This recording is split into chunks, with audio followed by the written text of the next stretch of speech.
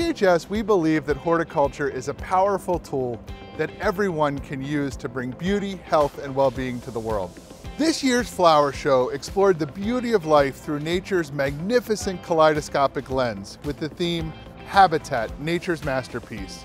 We saw a history-making show take shape, taking place outdoors for the first time in the show's 193-year history, against the backdrop of the beautiful vistas and rolling landscapes of FDR Park. We awarded prizes, saw amazing exhibits, celebrated wonderful volunteers, and brought together a community of people that love flowers. But the flower show is only just the beginning. All year round, PHS is here to share gardening tips with you at our numerous virtual and in-person events, through neighbors coming together in community gardens throughout the region, and communities becoming healthier when they relax in green spaces created by our neighborhood greening programs.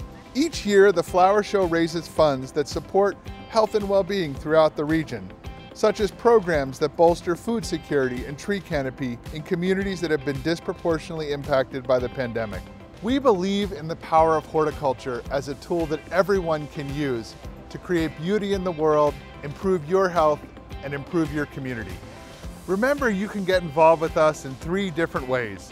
Join us as a member volunteer in any of our year-round programs, or donate to a cause of your choice. We invite you to join us and start gardening for the greater good. Thank you.